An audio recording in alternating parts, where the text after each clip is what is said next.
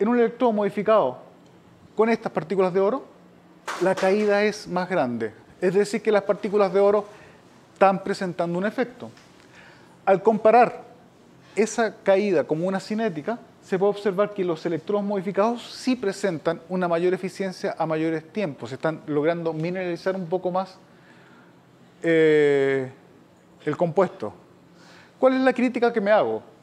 Estoy modificando un electrodo que ya es caro con un metal precioso que es mucho más, es tan caro como el propio eh, material, para obtener un aumento de un 10%. Entonces ahí viene el cuestionamiento de dónde estuvo el error del o dónde, qué preconcepto de los que nos llevó a hacer esto falló, y es que todas estas, eh, todas estas reacciones son eh, oxidaciones y, y ocurren a potenciales extremadamente altos. Mencioné que la ventana de potencial del diamante era muy alta, se realizan a potenciales sobre 2,4 volts y por lo tanto el oro que estoy depositando, cuando lo aplico en estos sistemas ya no es oro, es óxido de oro. Por lo tanto, la siguiente parte es seguir tratando con las nanopartículas, pero ya no de materiales metálicos, materiales oxidados, como la hematita, como los distintos óxidos de hierro. Entonces, de esa manera he ido utilizando eh, sistemas técnicas electroquímicas comunes para poder obtener nanopartículas, para aplicarlas a conversión de energía, a degradación de compuestos orgánicos, etc. Eh, pero ya que lo estoy estudiando, también tengo que ver cómo es sobre diamante y sobre los otros electrodos tradicionales. Eh, sobre diamante en un reactor filtro prensa, que amablemente me facilitan acá en el LAPE para poder hacerlo y para, y para tener la excusa de venir anualmente a visitarlos estudiamos el mismo compuesto, pero sin, obviamente, sin modificarlo con oro, porque esa modificación no estaba siendo tan, tan exitosa como nosotros esperábamos. Un aumento de un 10% no es algo tan sorprendente. Pero sí logramos confirmar con distintos tipos de electrodos que el diamante es más efectivo en la degradación de este compuesto.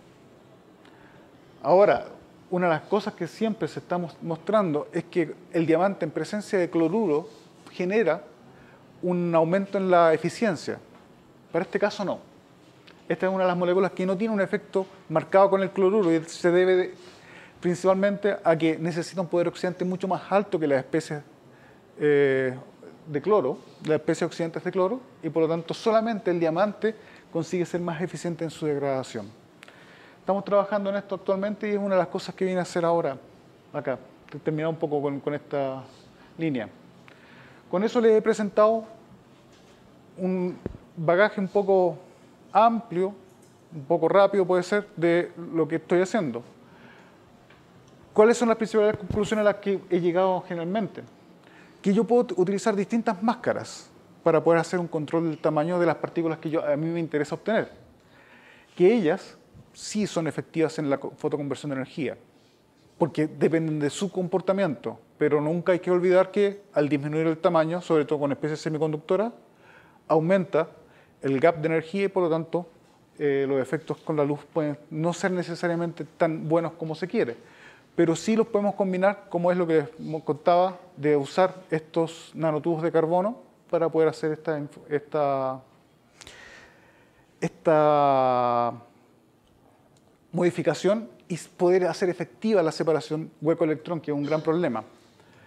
Modificarlo, el diamante, con nanopartículas, logra obtener unas mejoras en sus propiedades, pero no siempre son tan buenas como uno espera, por lo tanto hay que seguir dando una vuelta en eso. Eh, me gustaría agradecer a los órganos que financian mis visitas para acá, a Fondesit a través de ese proyecto, que es el que está actualmente en curso, y de otros más, a la Vicerrectoría de Investigación de mi universidad, al, al doctor Samuel Evia de la Facultad de Física, con, quien tenemos una amplia colaboración, al doctor Romeo Rocha y a todo el LAPE por recibirme, a Gabriel Pereira y a Nayara Wagner, que son quienes me ayudan cada vez que vengo para acá, y a todos mis estudiantes. Pero antes de terminar, quería hacer un poco de publicidad. Les mencioné que tenemos un centro de investigación en nanotecnología y material avanzado. Somos un equipo de aproximadamente 25 profesores de química, física e ingeniería. actualmente desarrollamos distintas líneas. Una de ellas nanomateriales para la conversión de energía, en la cual estoy involucrado. Eh, nanomateriales para aplicaciones biomédicas. Obviamente, todo lo que dice nano o todo lo que dice bio es donde está el dinero, entonces nosotros tenemos que estar apuntando hacia eso. Y nanobiomateriales y materiales de alto desempeño. Eh, dije que iba a pasar un poquito de publicidad. Actualmente tenemos dos becas de postdoctorado anuales. La fecha de cierre lamentablemente el 30 de septiembre. Por si hubiera algún interesado en intentar de trabajar en Chile, ahí hay una opción. También tenemos un llamado para profesor en el área de conversión de energía, con nanomateriales, obviamente un centro de nanotecnología. Entonces les presento ahí esta entidad que estamos formando.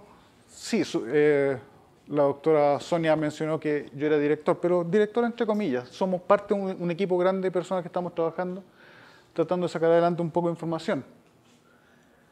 La hacemos en Santiago, mi ciudad.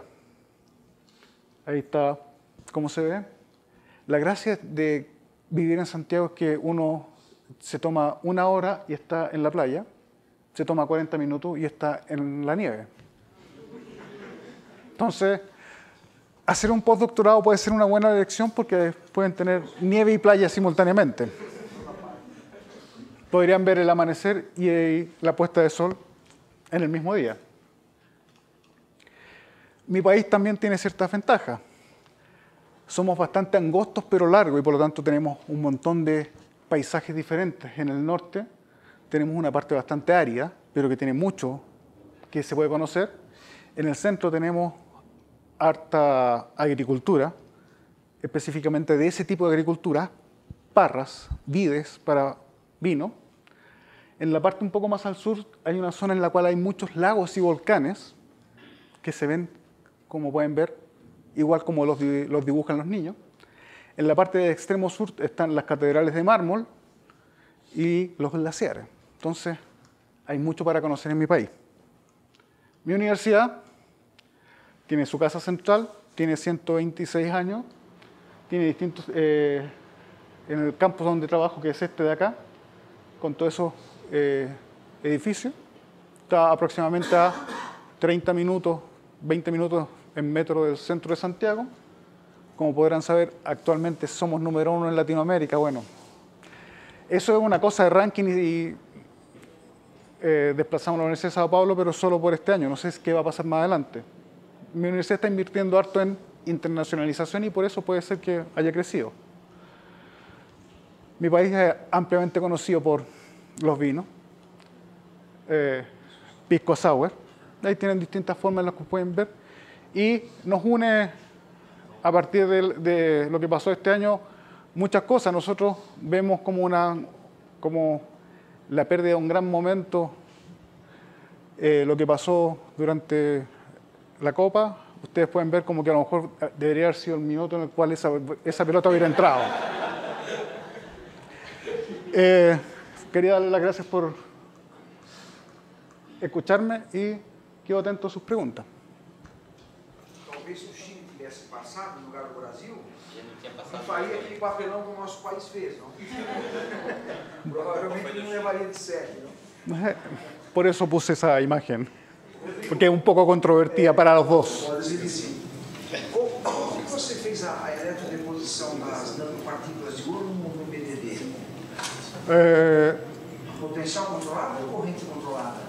Para esse caso, potencial controlado.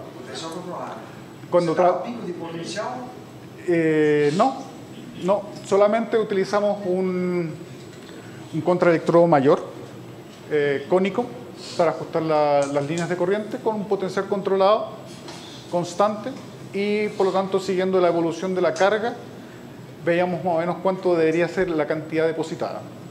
¿Y no caso se usó complexo de oro y medio complexante o no? No, solamente el tetracloraurato, del complejo tetracloraurato en medio ácido. É, porque o uso talvez de algum complexante além do cloreto talvez surfactante você possa ter um maior controle na, na eletrodeposição das partículas.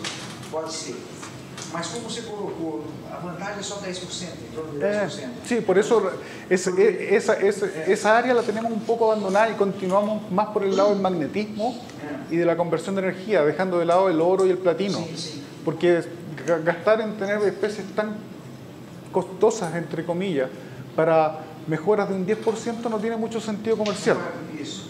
Y por lo tanto nos dedicamos más al control de lo que fue la parte del magnetismo con los nanohilos de níquel, hierro y mezcla de níquel-hierro. Nós outros fizemos eletrodeposição de ouro em BDD, entramos um, eu esqueci o nome do composto para colocar em cima.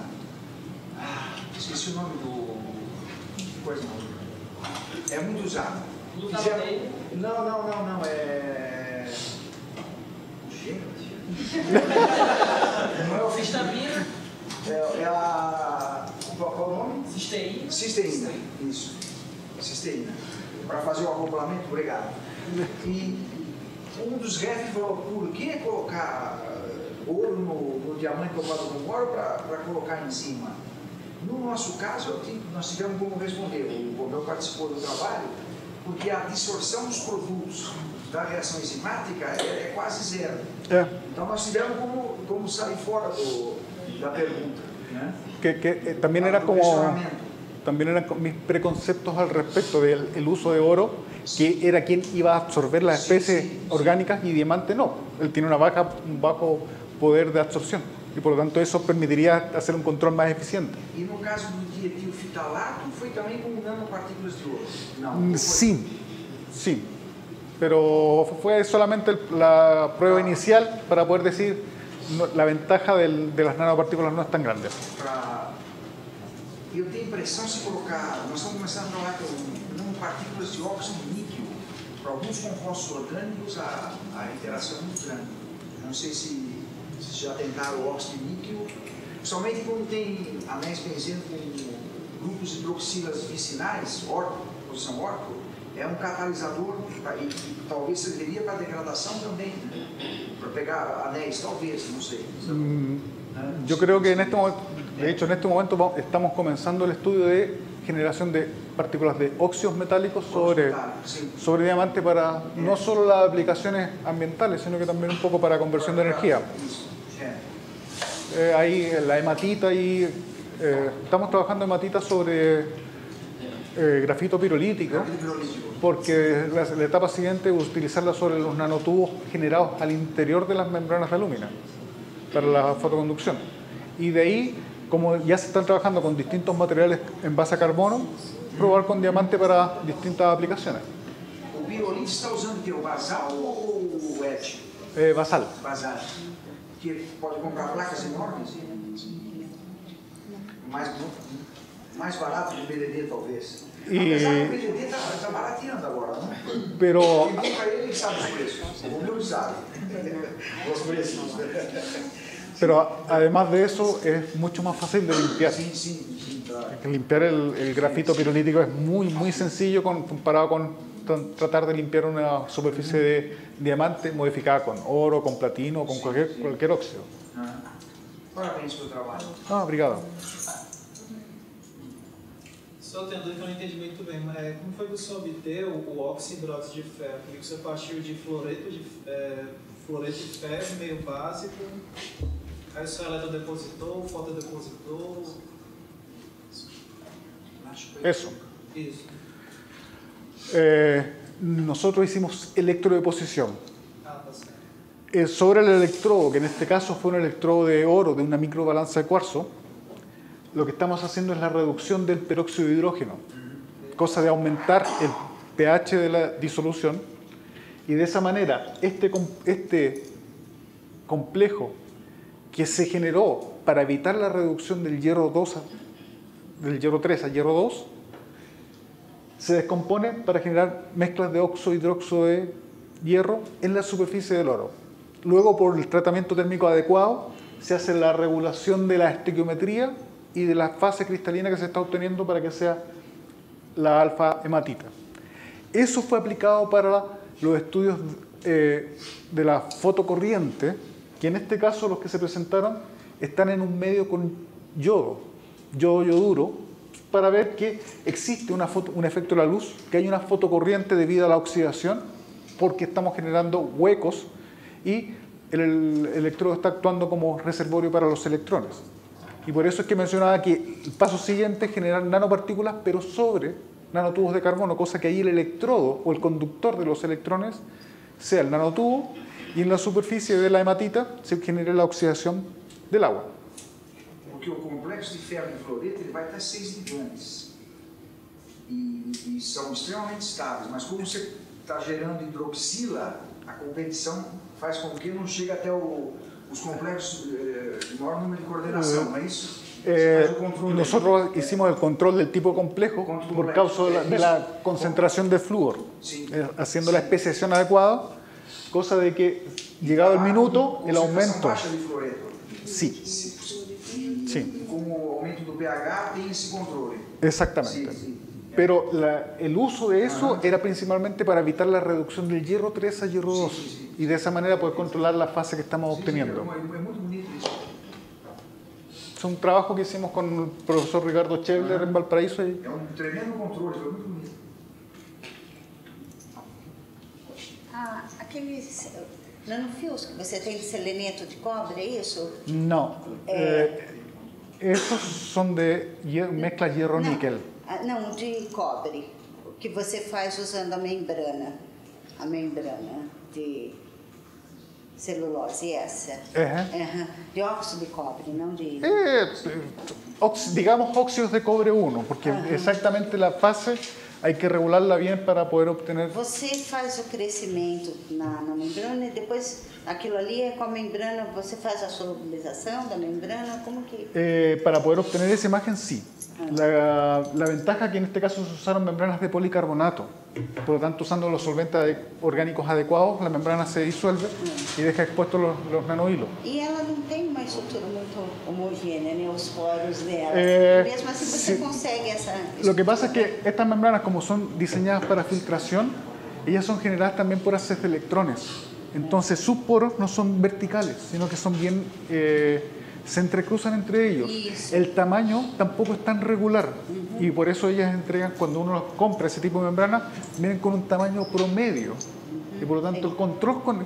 Nosotros la, la hemos usado, pero no nos gustan mucho por causa de que no tienen la verticalidad necesaria Eh, y no, y no tienen un control tan exacto en el tamaño como los- es lo que se puede lograr con la, ah, para el otro lado, Com alumínio ou com cobre. con la lúmina. É. La lúmina, el crecimiento hexagonal de cada uno de los poros es súper claro, el tamaño es muy regular y por lo tanto después cuando hacemos el tratamiento con ácido fosfórico para retirar en este caso el óxido nativo de silicio, los poros siguen siendo muy regulares y totalmente verticales. E, a- e aquele, então vocês fazem, preparam um óxido de cobre como a eletropressão também? Eh, sí. De hecho, eso- De hecho, eso es una, eh, eso es una de, las, de, de las líneas que estamos desarrollando en este minuto y por eso no, no hay mucha información, Ah. porque, el, porque el objetivo principal es poder hacer la reducción de dióxido de carbono. Eso es uno- uno- nuestro objetivo. Estamos ahí involucrados en un proyecto que queremos sacar adelante, que es tratar de darle usos variados al, al dióxido de carbono. Generación de combustible, eh, acumulación. Queremos hacer un, y dentro de eso, el óxido de cobre es uno de los sistemas que estamos viendo como factible de poder hacer.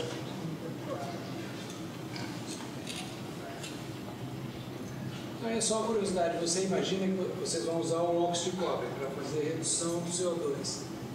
E você, você conta com a estabilidade do óxido, realmente? Eh, el, problema, el gran problema ahí es que el óxido de cobre que se obtiene rápidamente eh, se va a oxidar a cobre 2 y pierde sus problemas. Una de las alternativas que se está barajando es lo que se está, se está estudiando actualmente, que es tener este tipo de partículas core shell, en la cual el óxido de cobre es recubierto con óxido de zinc. Entonces ahí eh, estamos viendo cómo se va a solucionar el problema. Cuando tenemos partículas pequeñas, es bastante sencillo porque es tratar de hacer una superficie de óxido de zinc arriba de ellas y mantenerla. Pero cuando tenemos nanohilos, el problema es qué hacemos con, la- con- con las paredes. ¿Cómo, ¿Cómo protegemos las paredes? Entonces ahí es donde tenemos algunos problemas todavía de, para tratar de solucionar experimentalmente. La gracia es que tenemos un apoyo de eh, la Facultad de Física y ellos tienen bastantes equipos de sputtering, de evaporaciones, ya sea por haz de electrones, por resistencia, entonces ahí a lo mejor tenemos la solución por el lado de la evaporación de especies oxidadas. O óxido, o óxido cuproso não é tão estável, é isso?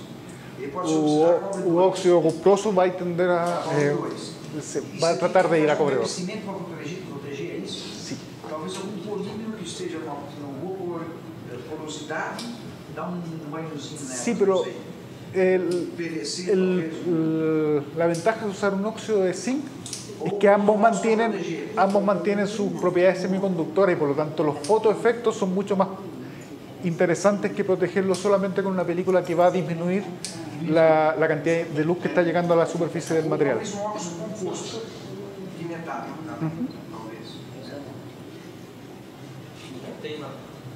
Mais um? no caso do óxido de ferro, quando foto corrente, Óxido de hierro. dá mais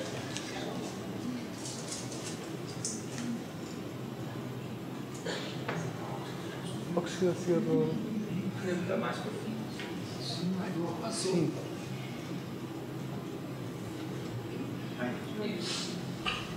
Primeiro, que tipo de luz você usou? Depois, pH da solução. E tem você usou? Eh, súper- es interesante mostrar esto porque es- el pH no fue controlado, fue el pH que entregó la disolución de eh, yodo yoduro, que está un poco, eh, un poco más arriba del pH neutro, y la luz fue una luz policromática normal, ni siquiera fue un simulador solar. Entonces, si con una luz de baja intensidad policromática podemos obtener un fotoefecto, al, al usar un simulador solar los efectos van a ser mucho mejores. E por que, que usa, não usa um eletrodo transparente? Eh,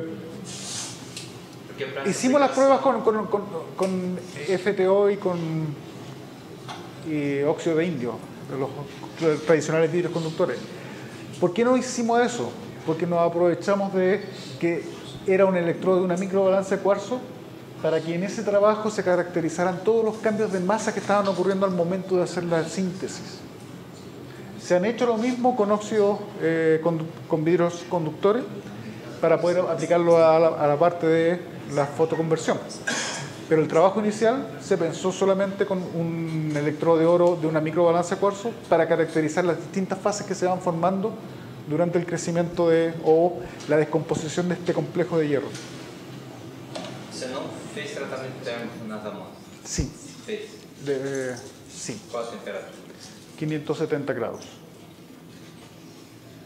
por media hora. 550, 570, pero en, esa, en ese orden.